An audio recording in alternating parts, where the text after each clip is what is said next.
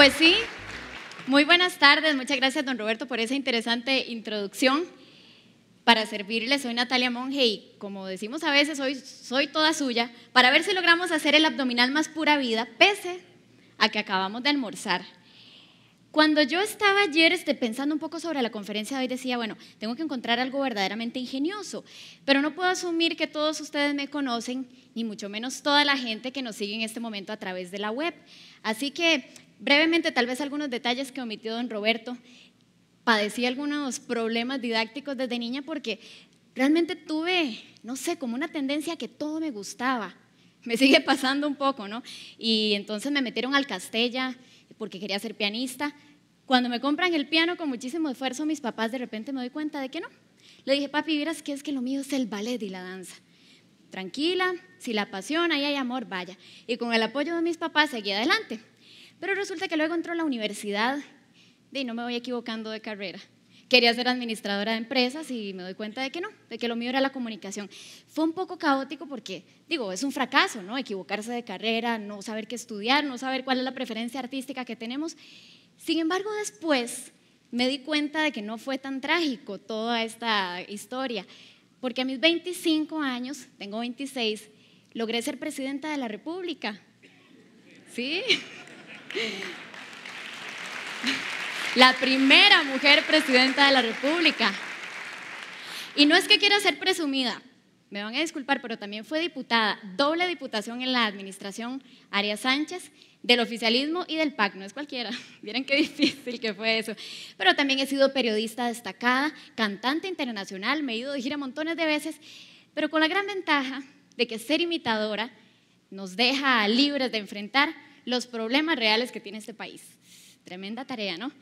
Bueno, y entonces les decía que ayer estaba en mi casa con mucha ansiedad, como me imagino que estarán o estuvieron ustedes, mis compañeros conferencistas, anoche, porque queremos dar lo mejor. Y yo dije, ok, tengo una idea para compartir con ellos. Los quiero invitar a hacer abdominales. ¿Por qué? Porque los ticos, de repente, pese a la moda de correr, somos un poco sedentarios. ¿Sí o no? No solo físicamente, sino también a nivel intelectual. Pero tenemos a la mano, sí, sí, sí, no, es que hay gente que le encanta leer, pero a otra no, a la mayoría. Entonces dije, bueno, tal vez si hacemos el abdominal más pura vida, que es barato, lo tenemos al acceso y nos da muchísimos beneficios, pues nos podamos sentir muy bien y yo les transmita esta idea. Pero bueno, estaba ahí en el Twitter un ratito para sondear un poco cómo andaba la cosa para hoy. Puse el radio. Soy bastante tradicional en eso. A ver si me inspiraba. A ver cadena nacional. Mensaje de la señora presidenta de la República, Laura Chinchilla Miranda.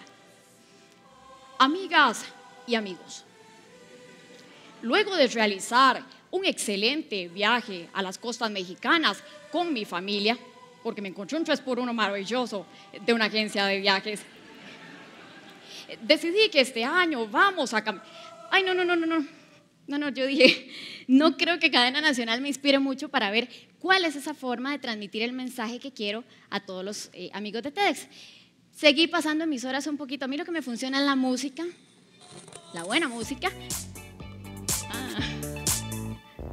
Una en el armario,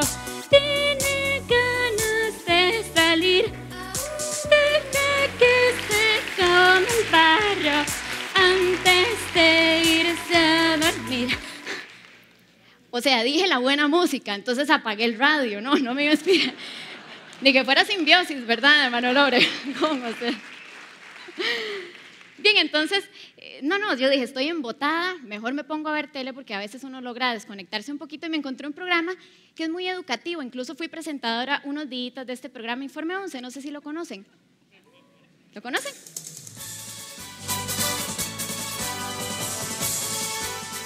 Hola, ¿qué tal amigos? ¿Cómo están? Bienvenidos hoy a Informe 11, las historias.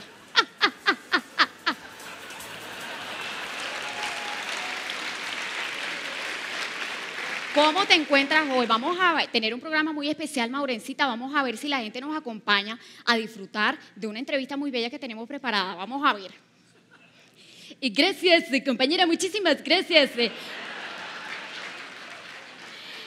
Tenemos eh, la ventaja, compañera, que ahora en Repretel tenemos un satélite, así que vía satélite vamos a realizar una entrevista a la sexóloga más famosa de América Latina. ¿Te parece, compañera?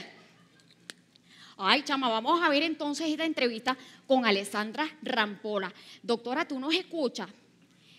Hola, ¿qué tal? ¿Cómo está Costa Rica? Claro que los estoy escuchando. ¡Wow! ¡Qué público tan maravilloso tú tienes! Y sé que este programa es bien escuchado y bien visto en toda la televisión nacional. Tú dime en qué te puedo servir.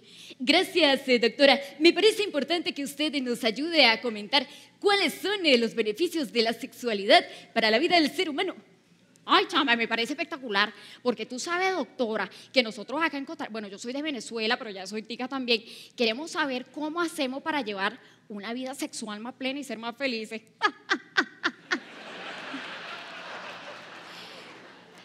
Wow, chamo, tú sabes que allá en Costa Rica tú eres el país más pura vida, ¿no? El país más feliz del mundo. Entonces, mi consejo para ti, para que tú seas más feliz y para que te ejercites a través del sexo, wow, mm, ah.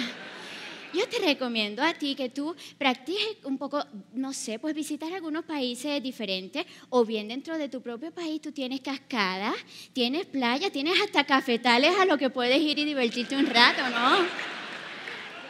Un beso grande para todos allá en Costa Rica, los amo. Soy Alessandra Grampola, así que un beso para ustedes. Bye. Ay, doctora, qué maravilla. Pues muchísimas gracias por habernos acompañado, Maurencita. ¿Te parece si seguimos con más? Claro que sí, compañera. Vamos a seguir con más. Muchas gracias. Bueno, realmente me llegó el mensaje de la doctora Grampola porque es importante que cuidemos nuestra vida sexual. Sí, sí, sí, si somos, eh, si ya iniciamos vida sexual, tenemos que preocuparnos porque esté bien y que nos dé felicidad y nos haga hacer ejercicios. Pero entonces, eh, yo no soy muy buena con las entrevistas y dije, claro, con una entrevista voy a transmitir este mensaje, pero como no soy muy ágil para esto, invité a una amiga especial para que me hiciera una entrevistita. Eh, no sé si estamos listos, los chicos de producción. Ok, estamos en directo. Muchas gracias Natalia por la invitación y saludos a todos los que nos acompañan desde este TEDx Pura Vida 2012. Y bien amigos, como todas las semanas hemos preparado esta entrevista donde les contaremos los principales beneficios de la risa para su salud. Y vamos a aprovechar que estamos en esta actividad tecnológica para irnos a una videoconferencia con la ex ministra de Salud, María Luisa Ávila, la doctora Ávila. ¿Cómo? Ah, no, no, no. Ah, perdón, es que me indican aquí en producción que por el congestionamiento vial, es que qué, barbaridad, es que es increíble realmente lo colapsadas que están las calles en este país. Ella está a punto de llegar aquí a nuestro set, pero para no atrasarlos ustedes vamos a irnos entonces vía telefónica con la doctora María Luisa Ávila. Eh, doctora, ¿nos escucha? Sí, muchísimas gracias. En este momento me encuentro hacia el auditorio. Lo que pasa es que ve mucho congestionamiento vial y me preocupa muchísimo que la gente de TEDx se esté esperando. Yo le pido, por favor, doña Pilar, que usted me haga el favor de decirles que en este momento hay mucho congestionamiento. No tengo un vehículo, ni siquiera me asignaron un chofer, así que le pido que por favor me ayude porque la gente va a esperar que yo esté puntualmente. Sin embargo, me gracias, parece doña María Luisa. Muchas gracias, muchas gracias. Pero si le parece, vamos a empezar ya la entrevista para no atrasar a nuestros televidentes. Sí, lo que pasa, doña Pilar, es que como le digo, estoy llegando ya al hotel en donde me dijeron que iba a hacer la conferencia. Si usted me permite, por favor, discúlpeme con la gente. Soy una persona bastante puntual, sin embargo, no logro atrasarme pero, en este doña María Luisa, ¿cómo, ¿cómo? Es que usted está en otro sitio. Sí, estoy en el la hotel. La producción coordinó todo para que la entrevista usted se fuera acercando aquí a el test de Telenoticias, ¿no? ¿Es así? Sí, lo que pasa es que a mí me dijeron que... hagamos una cosa, doña María Luisa. A mí definitivamente ya no me da tiempo de llegar, ni a usted de llegar aquí. Así que mejor quédese ahí y le vamos a enviar a nuestra corresponsal para que le haga esta entrevista. Ella será mi doble, doña Piñar Chismeros. Adelante, doña Piñar, por favor. Gracias, doña Pilar. ¿Qué tal, amigos? Muchísimas gracias por acompañarnos en una edición más de TEDx Pura Vida. Bien, hoy, como todos los años, hemos tratado un tema de su interés y para ello hemos preparado una entrevista muy especial. Ella es pediatra especialista en infectología del Hospital Nacional de Niños, pero además fue ministra de Salud en la administración Arias Sánchez y durante un importante periodo de la administración actual.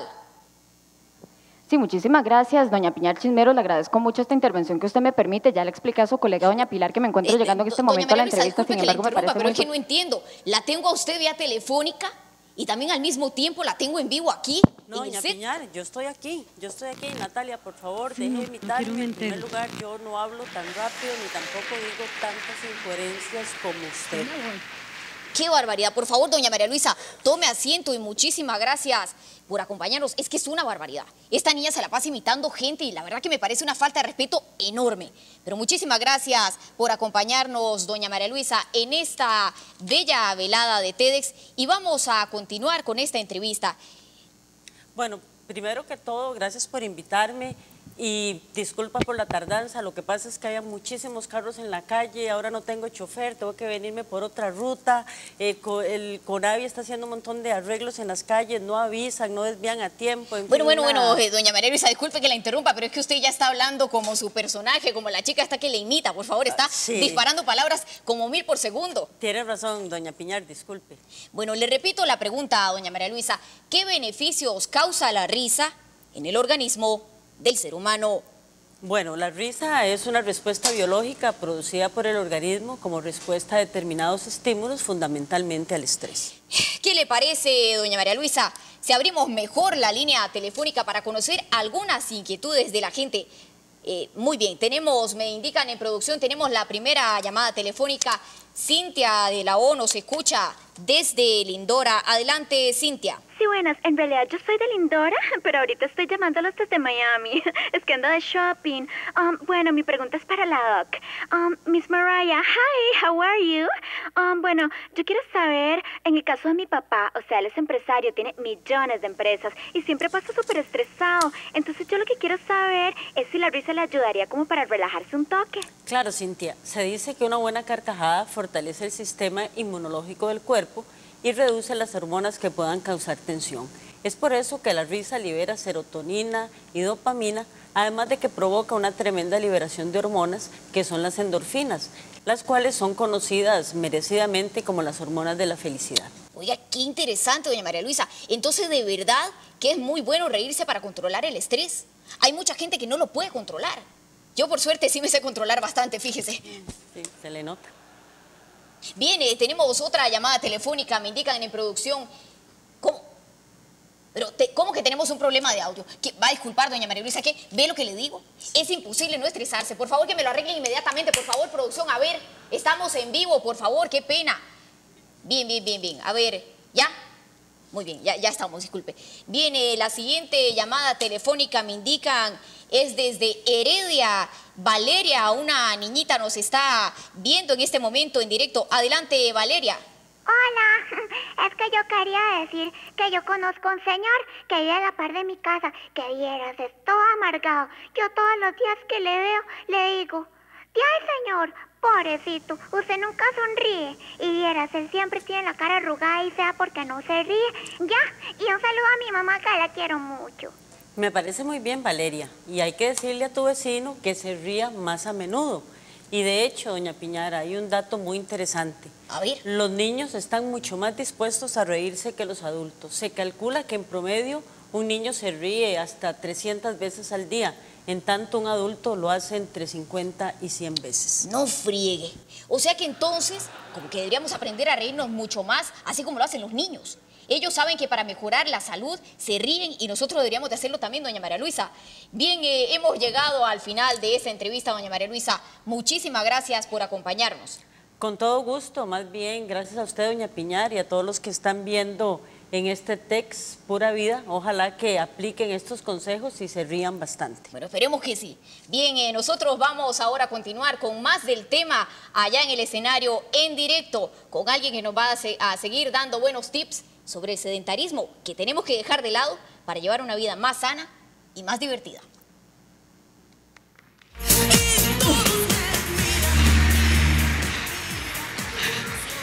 Ay, ma. ¿Qué me dicen? Ambición pura vida. ¿Qué me dice? Gradería sol.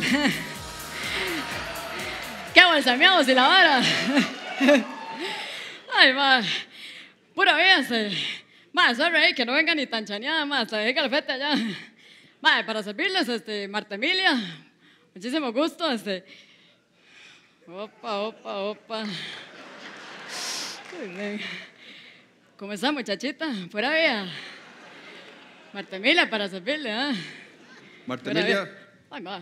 Ma, ma. No, no, no, más seria. Ma, Roberto. Ma, no seas tan no, no, no, no, no, no, no. Ma, ma, ma. en serio, no, yo la invertí, la invité ya lo a vi. compartir ideas. Mi hermanito, usted me quiere pellizcar el queso con la Pero cómo no, no, no, ah. no. Ma, que he cantado. Ma, mi hermanito. Ma, la gente está harta de Eh, verlo. Ma, cabrón. Ma. A compartir ideas. No es para que le venga a echar el ruco aquí a las Mi hermanito, llévela al cuello. Usted no sabe qué edad tengo yo para compartir. Ma, ¿qué? Se chillan, ma. Muñequita, 48, cualquier para calzamos, ¿eh? Mi hermanito, ma, va jalando, Roberto, cógeme tú, No, mira, no, ma, no. usted cada rato sale, va jalando, va jalando, va jalando, con- ma, la gente está cansada de verlo, ¿eh? Ma, este, ma, pura vida, Sí, ma, va jalando, sí, sí, ya termino, ya me lo sabe. Qué sí, entonces como les decía, mi hermanitos, este, ma, soy entrenadora de fútbol de las aplanadoras. Ma, si me ayudan un toque, es que la porra del equipito mío de fútbol, las aplanadoras. ¡Aplanadoras FC!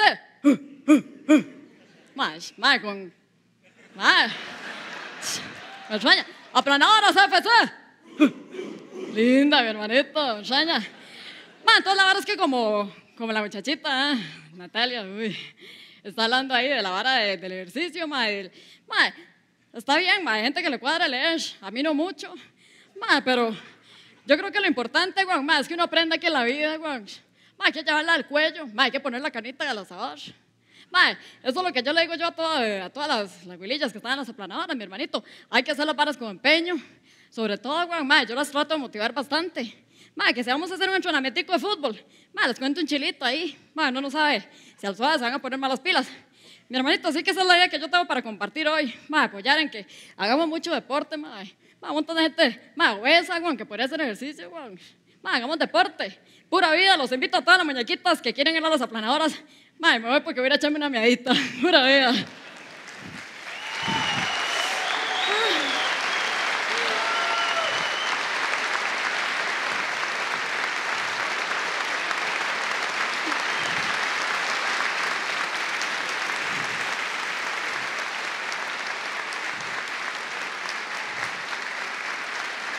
Bueno, muchas gracias. Me topé a Marta Emilia, me dejó esto. Y esto, disculpen. Pero quiero cerrar con mi mensaje para hoy. Dejemos el sedentarismo de lado, que no nos dé miedo a hacer ejercicios. Hagamos el abdominal más pura vida, la risa.